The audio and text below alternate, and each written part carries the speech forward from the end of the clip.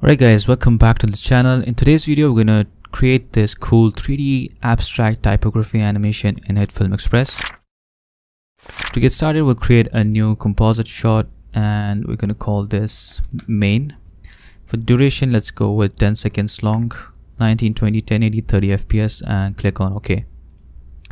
Now let's create a new composite shot for our text. We can call this text placeholder 10 seconds long and for the width we're gonna actually match the width of this comp to the width of our text. So uh, let's just leave it as it is for now. Let's click click on ok. I'm gonna create a new text layer and i'm going to type in something like tutorial. There's our text. I want the width of this comp to match the width of my text and the height as well. So i'm going to go back to the settings of this comp so I can click on this little gear icon at the bottom click on that and in the width I'm going to start with 1000 and for the height I'm gonna set this to 250 I have already done this before so I kind of know the values. Uh, for 235 font size for impact font these are the values I think works perfect. But if you use a different font and a different size then you have to use different width and height values. Just click on ok and make sure the text is right in the center. Like that. The comp shot doesn't have to be perfectly cropped up or aligned with the edges of our text. I mean you can leave some space around. Uh, that's perfectly fine. And once you have it then you just create a new plane layer and call it BG for background and give it a black color because our text is white. If your text is black then make sure the BG is white the background color is white. Click on ok and just drag it below. Then let's create a new composite shot and call it 3d and 10 seconds long this should be 1920 by 1080 and this is the comp where we will be creating our 3d uh, look of our text. Um, so we're going to drag in our text placeholder comp. Just drag and drop and to differentiate it from the the background color of our text to the background of our comp we can go to options and change the background color and choose a color other than black and click on ok. All right there we have it. Now let's turn this text placeholder layer into 3d click on layer dimensions icon and click on 3d plane and click on yes to add a camera. Now you can see that our background turns back to black color so again again change it to a different color. Click on ok. Alright so let's duplicate our text placeholder layer you can hit Control D or Command D or right click click on duplicate. And on this one I want to change the anchor point. So you can see right now the anchor point of this layer is right in the middle. And I want this to be at the bottom of this shape or this layer. Uh, so I'm going to go to transform and change the anchor point value on the X so it should be negative. Let's you can use the scroll wheel or if you have a mouse you can use that to change it by every one pixel. And negative 125 looks fine. So i'm going to change the position and type in 125 over here. And if i press enter notice that it will move to the top which is exactly what we want. And now i want the rotation to be 90 so now if i use the orbit around selected layers tool this icon over here or you can press B on your keyboard. I'm going to click on that and I'm going to rotate around. You can see that we have the top part of our 3d text. Right now we need the bottom and the back part. So I'm going to again duplicate this control D. We just have to go to transform hold the control key and click on this value over here negative 125 I'm going to click on that and it will change the change it to 125 I'm going to do the same thing to position hold the control key and click on this value. It will change it to a negative sign. And on the rotation you just have to manually type in negative over there. And now we have the bottom part of our 3d text.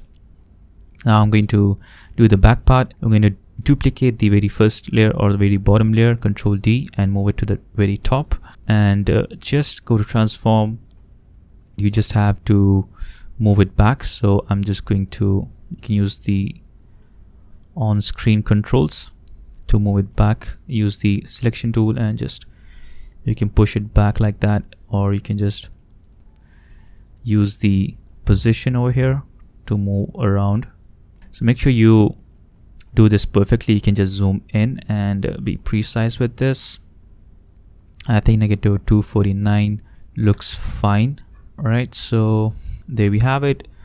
And now on this one we just want to rotate it because if we take a look at it the orientation or the rotation is not correct. So I'm just going to rotate the X by about 180 just basically flip it right? Now it looks fine. So we have our 3d text box right now you can go to new camera transform and you can select the transform and hit control R to reset it. Or you can just right click and click on reset. So that will reset everything. There we have it. Now to create the animation we will create a new point layer and make it 3d we need to parent all of these text composite shots to the new point layer. All right so if we animate it right now if you go to transform and rotate the rotate the layer you're going to notice that it doesn't rotate from the center. It actually does but the layers the text itself the text composite shot doesn't rotate from the center. And that's because if we go to active camera I'm going to click on that and change the view to left view. Click on the left. You're going to notice that this right here is our new point which is in the center. And all these four composite shots are not in the center of this new point. So we're going to select all these four layers and with the selection tool we're going to drag it to the right and we're going to just eyeball this and try to align it in the center.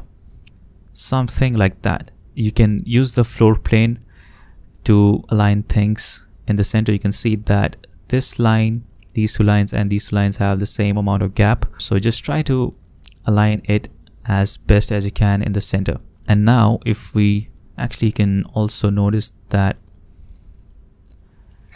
we have this extra bit over here. So we can just go to text comp 4 and just push it back a little. Negative 126 looks fine. That's almost perfect. All right so now if we go back to our active camera and use the new point layer and rotate it around. You're going to notice that it will rotate from the center all these composite shots. And that's exactly what we want. So i'm going to start animating this. Create a keyframe on rotation. Go to the end. I'm going to rotate it in downwards direction. So let's actually do negative 360 which is on complete rotation. That looks fine now. All we have to do is create that twisted effect. And for that we have our main comp over here so I'm going to drag this 3d comp into this main comp. Again I'm going to go to options change the background color to something else and click on ok. Now we'll create a new plane layer and um, or we can just drag in this background drag and drop. I'm going to right click on it and click on rename and call it gradient. Right click on it and click on make composite shot I can call it gradient comp or anything that you want. Select these two options and click on ok. And on this layer just make sure that the width and the height matches the width and the height of this comp. So i'm going to right click on it and go to transform and click on fit to frame. Then the effects i'm going to search for uh, color gradient. If i can find it it's over here. Let me just add this to favorites. Color gradient and apply it on this layer right so just move the black point to the left edge and white to the right edge. Or you can just move the black to the right and white to the left doesn't matter. So just do that and click on close. Now you can go back to your main comp hide the gradient comp. Now in the effects we're going to search for time displacement this effect is the real meat of this tutorial. Just drag and drop on your 3D composite shot and expand the time displacement, expand the displacement and set the source layer to gradient comp. Alright, so if you scroll up to the timeline, you can see we already have this nice displacement going on. So the time shift, if we go to the HitFilm manual, you're going to see this time displacement effect and you can see it displaces pixels by time. If we go to the bottom, you can see that this black slash white time shift. These controls are measured in seconds and determine the time shift where a displacement map is full black or full white. So since we used a gradient comp and it has this full black and full white, it displaces or it changes the animation according to the gradient map we have.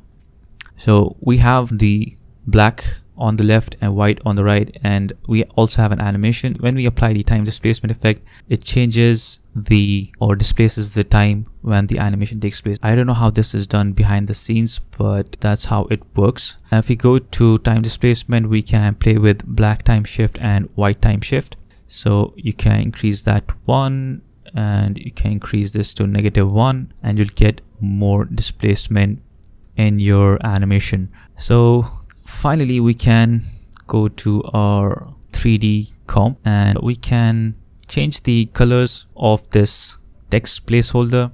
Now let's apply invert effect to our second comp.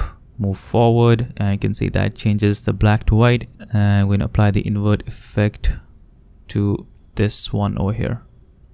Drag and drop go back to your main comp and the changes will take place in your main animation. Alright, so there is also this wipe going on.